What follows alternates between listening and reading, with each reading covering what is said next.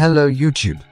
So in today's video I am going to show you how to set up the AI perception component in C++ and how to make it so that the perception component can look at any bone instead of always tracing to the center of mass. For this project, we will need these two C++ classes. Let us first set up the AI perception component. To do that, first create the AI controller class and wait for Visual Studio to load up.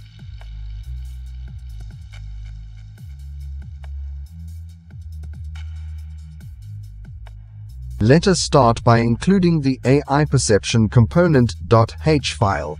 Make sure not to put any includes below the .generated.h file. Then in the protected section, define these two things. The AI perception component is just a component that we define here and then create in the constructor. Let's define a public section. Then in the public section, add the constructor a reference to the bot for this AI controller the onPerception function which is called when the perception component updates the AI sight config for the sight sense and the onPossess function. Now we need to create the character class. Once the class is created, include these two header files in the .cpp file of our AI controller. In the begin play function, I cast the controlled pawn to character base and save a reference to the bot. In the constructor, I create the AI perception component, set parameters for the sight config, and register the sight sense to our perception component. In the onPossess function, I bind onPerception to be called when the perception updates. In the onPerception function, I check if the target is visible and set focus. Now, let's open up the character class we created earlier. Here, add a bool to check whether the bot should attack and a function to set the animation state. The actual animation logic will be handled inside the animation blueprint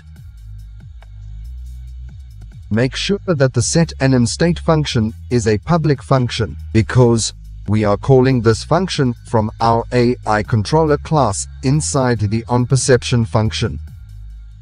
Our AI perception component is now set up correctly. Build the solution and open up the Unreal Editor.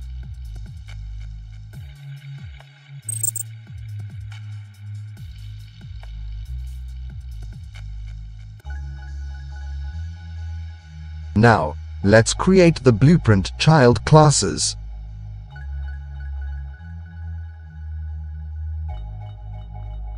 Open up the player blueprint and create the camera and movement inputs. Note that both the player and the enemy blueprints are child classes of our custom C++ character.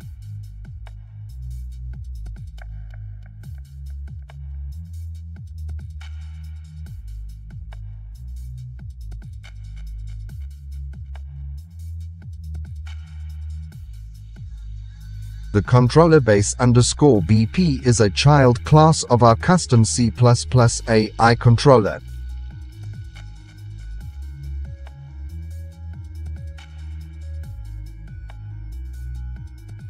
Now, open up the enemy blueprint and set the AI controller class to controller base underscore BP.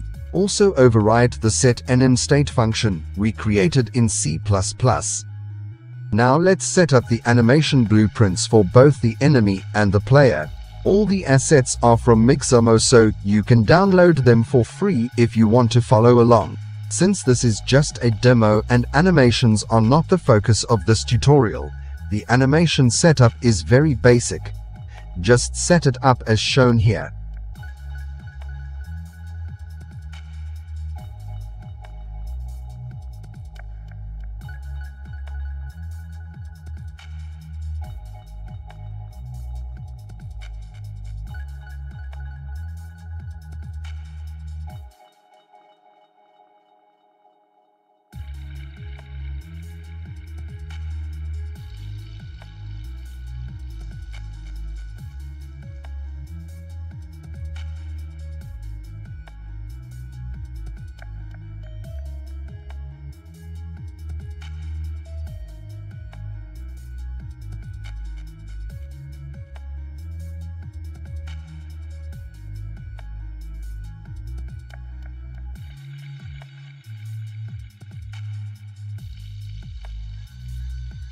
Let's play and test if our perception system is working.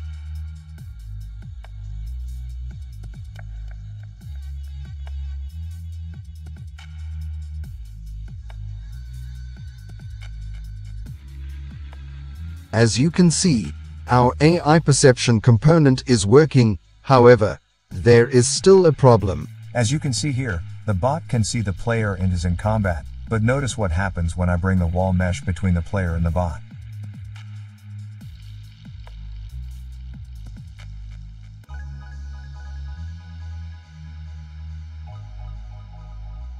From the bot's perspective, it looks even more stupid because the player is right in front and staring at the bot and even then, it can't detect the player.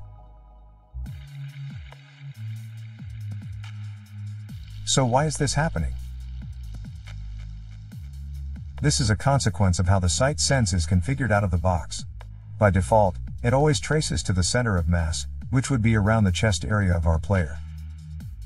And indeed the chest area which is the sight target is behind the wall and cannot be seen. So, it is working correctly. We just need to tell it to look at other sight targets. To create custom view targets, open up the C++ character class and include the AI sight target interface.h file. Now add the IAI sight target interface as shown here. Can be seen from function as from the interface we just added to our character. This is the function that is going to tell our AI's sight sense where to look. The target bone is our AI's new sight target and it is set to the head bone. Feel free to set it to any bone you want. These were added for testing and showing an example where the sight target was being changed at runtime. Now move over to the CPP file and implement these functions as shown here.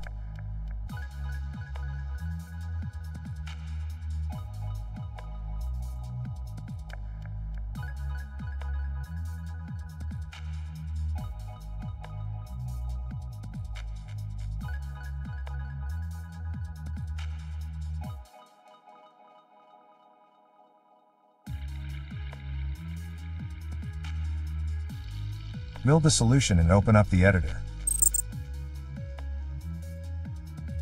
We are almost done. We just need a way to change the view target with a button press. Open up the player blueprint and set it up as shown. The next view target is a blueprint callable function we created in our character base class earlier. So, every time I press X, the bone name at the next index in the view targets array is set as the view target. These bone names are from the actual skeleton of our character.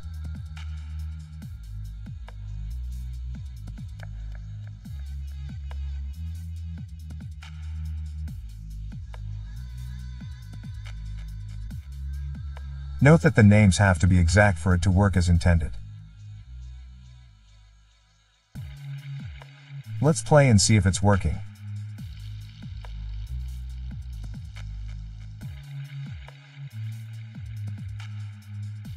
I am pressing X to change the view targets.